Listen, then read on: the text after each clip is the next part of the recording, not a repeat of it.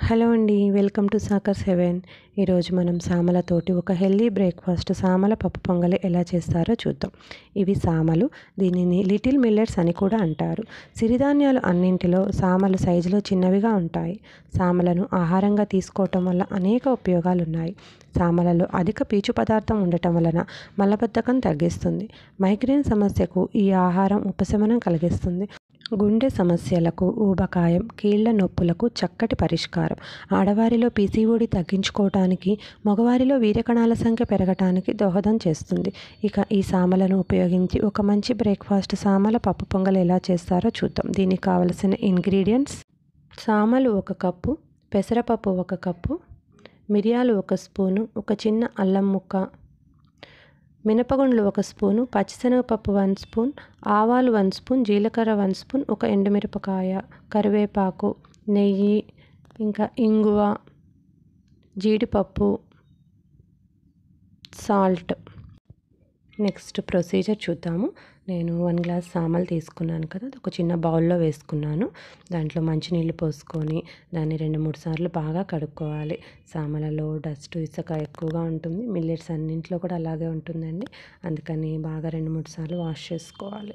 నేను మంచినీళ్ళు పోసుకొని వాష్ చేసేసుకున్న తర్వాత దీంట్లో నేను మంచినీళ్ళు పోసి నానబెట్టేసుకుంటున్నాను నేను ఒక గ్లాసు సామలు తీసుకున్నాను కాబట్టి దానికి మూడు గ్లాసులు వాటర్ యాడ్ చేసి నానబెట్టేస్తున్నాను నేను మార్నింగ్ బ్రేక్ఫాస్ట్ కోసం చేసుకోవాలి. చేసుకోవాలనుకుంటున్నాను అందుకని నేను నైటే నానబెట్టాను. అలా కాకపోతే మినిమం ఎనిమిది గంటలు నానేలాగా చూసుకోండి. నెక్స్ట్ డే మార్నింగ్ నేను ఒక గ్లాస్ పెసరపప్పు తీసుకున్నాను. కుక్కర్లో పెట్టేద్దాం అనుకుంటున్నానని నేను డైరెక్ట్గా కుక్కర్లోనే వేసేసుకున్నాను.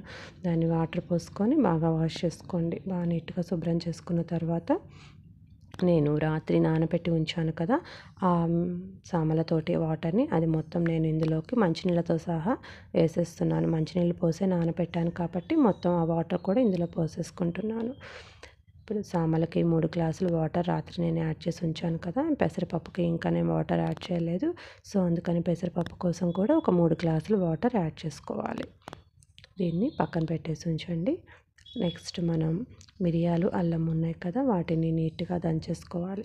సో అందుకని నేను ఒక చిన్నది తీసుకొని దంచుకోవడం కోసం మిరియాలు అందులో వేసాను నెక్స్ట్ అల్లాన్ని కూడా చిన్న చిన్న ముక్కలుగా కట్ చేసి వేస్తున్నాను. చిన్న ముక్కలుగా చేసుకుంటే మనకి త్వరగా అయిపోతుంది. అందుకని నేను దీన్ని నీట్గా దంచుకుంటున్నాను. మొత్తం ఒక పేస్ట్ లాగా అయిపోతుంది. పేస్ట్ అయిపోయిన తర్వాత దీనిని నేను కుక్కర్లో సామలు పెసరపప్పుతో పాటు ఇది కూడా యాడ్ చేసేస్తున్నాను. ఇందులో సాల్ట్ కూడా వేసేసుకుందామండి.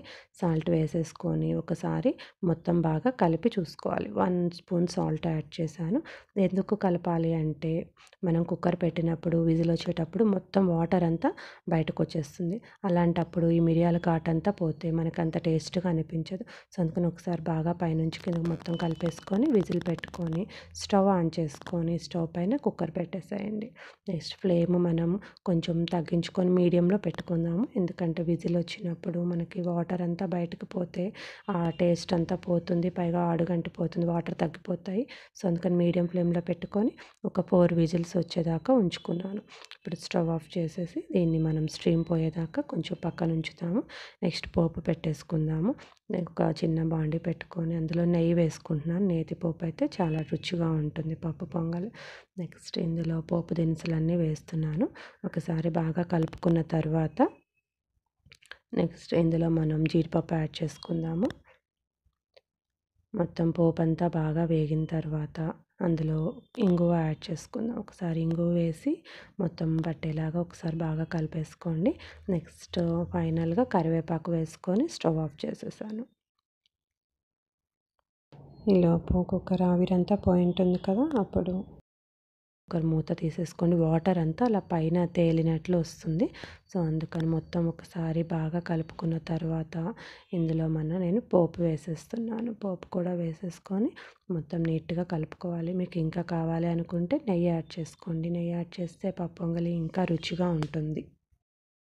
సామలు తినటానికి ఇష్టపడని వారు కూడా ఈ విధంగా బ్రేక్ఫాస్ట్ చేసి పెడితే చాలా ఇష్టంగా తింటారు.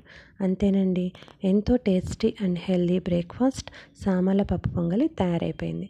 చాలా టేస్టీగా ఉంటుంది. మీరు కూడా ట్రై చేయండి. Thank you so much for watching this video. మా వీడియో మీకు నచ్చినట్లయితే లైక్ చేయండి షేర్ చేయండి మా ఛానల్ని సబ్స్క్రైబ్ చేసుకోండి. Thank you.